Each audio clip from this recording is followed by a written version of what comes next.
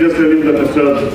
Joshi here, he is actually uh, staying in Singapore, but he just came for this launch ceremony, and he, he and in fact they were the first uh, state to you know buy the franchisee, and they were the first to invest in the league, and they are probably you know. Uh, uh, I mean, a slightly ahead, and when it comes to preparation, they have been on it for quite some time.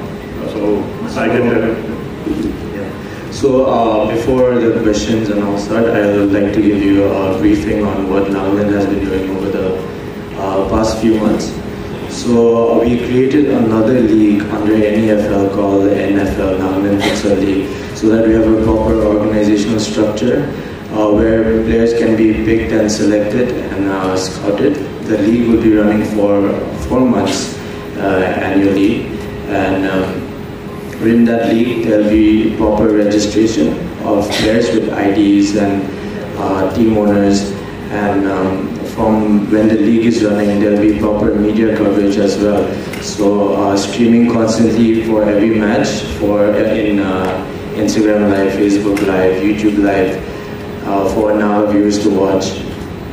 Then there'll also be a data statistics group uh, um, collecting data for um, the number of goals scored, number of saves, assists, and so on, the football necessities.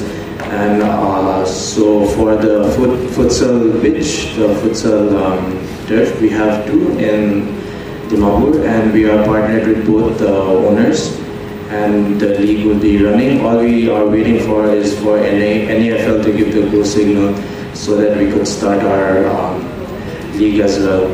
And uh, and I'm I'm aware that uh, you are asking about uh, how are we handling the gender mix. So our futsal league is um, gender friendly, as in both genders can uh, join, and and also it is difficult to find female uh, players to join. So, but we have kept it open for all genders to join, and um, and uh, we also have um, made sure that uh, when there are scouts to select for the Nagaland team to play in NEFL, that uh, there are um, academies in Kohima as well that uh, that we have spoken to the youth and sport resources that they can uh, give us the best um, girl players also to represent Nagaland. And um, uh, yes, that's pretty much it. And any other questions from anyone?